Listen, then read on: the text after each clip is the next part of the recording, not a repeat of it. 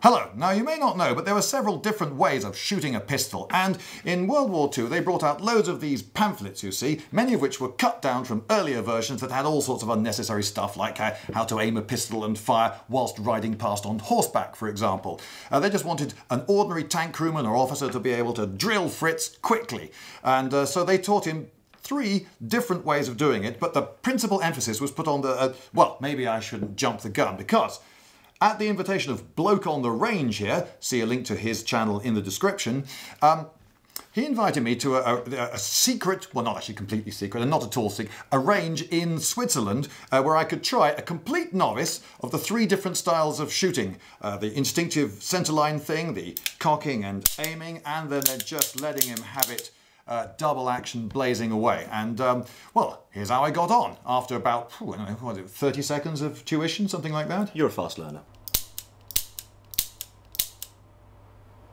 Okay. Feel confident? No, but let's do it anyway. Okay. Open it okay. up. So, finger off trigger, push lever, which unlocks here, which then allows the whole thing to fall forwards like that. Then I pick up six rounds. Two, three, four, five, six. And then I put a thumb to stop the cylinder spinning. And I start from there, go anti-clockwise in case Fritz surprises me.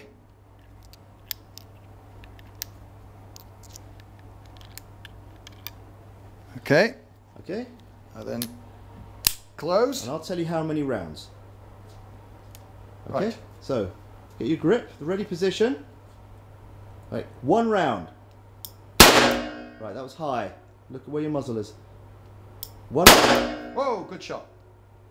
Two. Oh, not so good.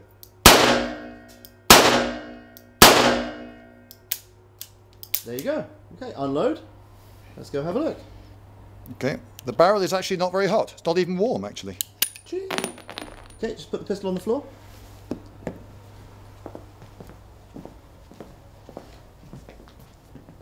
Right. So you told me that the top one, the first one went high. I couldn't actually see that. Uh, and then I think that was my next one, wasn't it? Yep. Uh, and then I adjusted a bit, and then I got a group of four. Um, yep. Which, uh, judging by the pattern of yours, I'm going to say is was adequate. Indeed. Hooray! Adequacy. Yes. Do you want to have another go? Well, yeah. Okay. Patch out. Okay. Hmm, beige. And so as a baseline, if you were to practice this for a while, I think you could get quite good. Um, the thing is, knowing where your first round goes is probably the single most important thing. Yeah. This doesn't seem to be in alignment, so I'm moving it until I feel a positive click, and that's seems you don't right. need to. It'll align itself. It'll align itself with it. Okay. Okay, so square to the body, and two rounds. Now look here. Okay. Another two. And another two. There we go. Right, unload and show. Okay. There we go.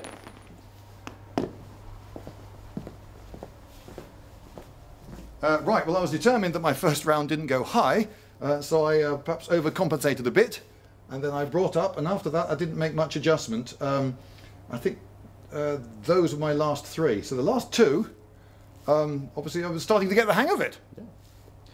For comparison, let us do another six using the sights. Widdershins load. Okay. Okay, so if I click this, it'll sort itself out and I don't need to steady it. Okay, so, so we'll this time... double action still. Double aim at the still. middle of the top target. Middle of the top target. You ready? Yep.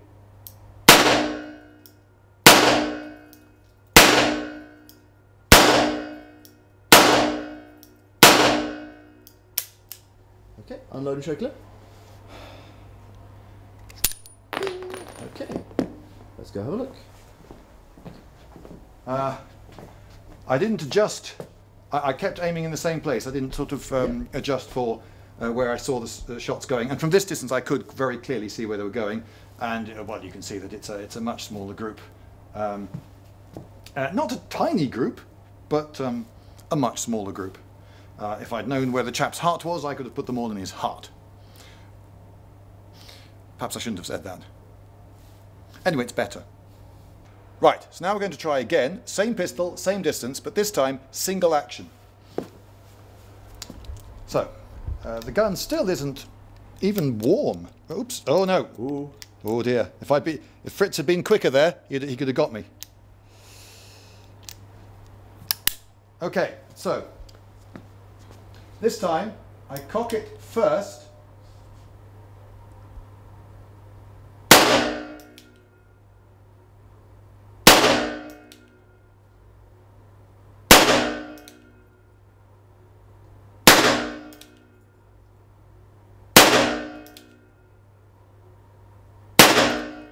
Oops, one outlier. That was six, wasn't it? the hammer. Okay, so to drop the hammer, I put loads of pressure on it, release it, then let the trigger out, which then stops it slightly short. So it's, the pin is not going to be resting on the back of any uh, um, of the bullets. Okay, and Okay, hello. I think I counted correctly. Yeah. But safety first. Okay. Uh, well, my last one was rubbish, but the, the first five, as you can see, are much, much, much tighter. Uh, and that one was that one was human error. Uh, that was just I just I just mucked up the last one. Um, so that was roughly the group before, and now the groups. Ah. So um, single action is so much more accurate because you don't have to strain against the power of the spring to bring the hammer back. And as you pull uh, against that spring, it's extremely difficult to hold the gun steady. And then when suddenly click, that moment comes, it's more of a shock. Whereas if I do all that in advance by cocking it, uh, I've pulled back against the power of the spring, and then I've got a much lighter trigger. I can take careful aim and just a simple click. And so there's much less shake of the gun, and, and hence much greater accuracy. Right, um, now what do I do? Magazine in. Okay. All right, there's a little button there for holding Okay. it in. All right. Keeping the finger away from the trigger. Good, good. Right, pull back on the slide. Let it go. Now you've got eight rounds. Okay.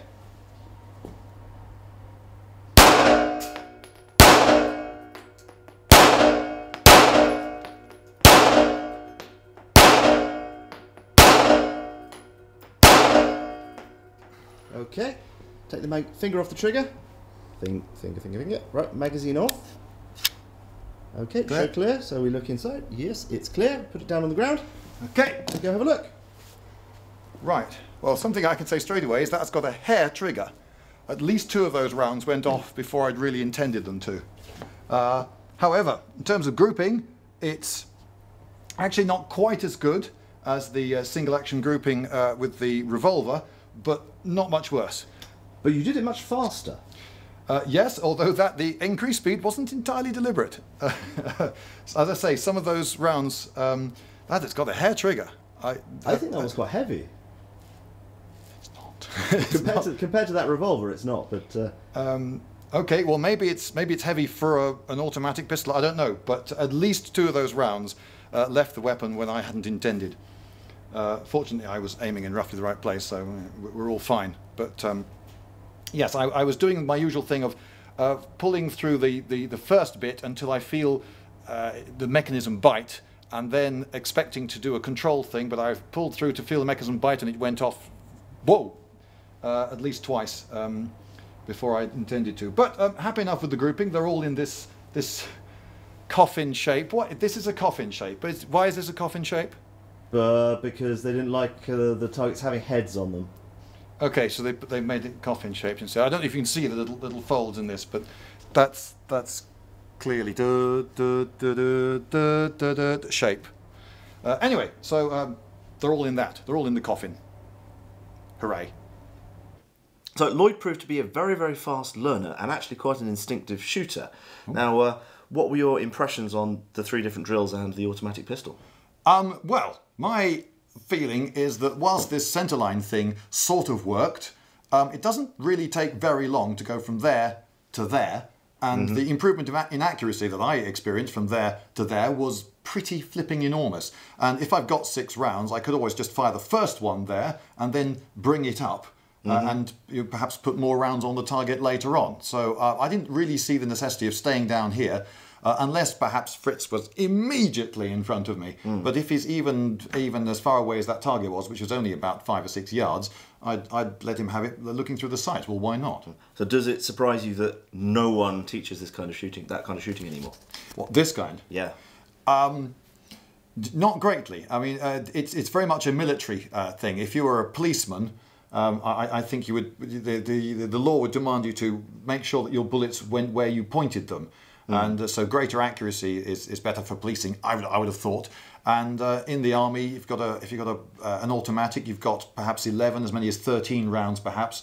And, you, And you the can- you can you can bring it up to here and, and fire more accurately. So so no, I, I don't think uh, not that I'm ever likely to use one of these pistols in anger ever, but I don't think I'm going to be uh, uh, moving around like a Dalek and aiming my entire body. I think I'm I'm going to you know, stare down the sights. I think there's something a little bit more. Um, I don't know, sort of intimidating, authoritarian as well. I mean, if I'm like this, I'm like them sort of gangster from a, a cowboy movie. Whereas if I say, now look, put that down, take that out of here. Are you chewing? Spit it out. Did you bring enough for everyone? Go away and don't do it again. It's you're far more sort of authoritarian to, to, to point at someone and, and you know maybe they listen to you a little bit more readily. Whereas this this just um, is, is sort of brutal and not quite so serious looking. I think. Yeah, I, I want to stare down the sights at a guy and, and intimidate him. And of course, if I'm just trying to shoot him and I'm pointing my gun with the intention of, of uh, shooting him, I want to make sure that the bullet goes where I want it to. So whether it's I'm trying to intimidate or kill, I'd still rather look down the sights. So I find it quite interesting that um, in the sort of World War II plus minus period, uh, a lot of police training in the US was not using the sights. It was believed that you couldn't use the sights quickly, and there's some uh, interesting YouTube reproductions of not reproductions, uh, uh, republications of, of FBI training where they're they're they're all shooting down here like that. It wasn't it wasn't just us dastardly Brits uh, following Fairbairn and Sykes' advice. Fairbairn, Fairbairn Sykes, Mr. Stabby from Shanghai. You, we- we know him on my channel from, from all his knife fighting stuff, but he did guns and that as well. Fighting dirty, that was his general thing. Uh, yes, so if I draw it to there, bang, bang. And by the time I bang, bang, and bang, bang, take about the same amount of time. So why not bang, bang, is what I think. Yeah. For much greater effect on target. Yeah, um, well, you saw from the, the, the little the, the, little holes I put in the cardboard. The yeah, yeah, groupings. Yeah. Mm. So there you go. Mm.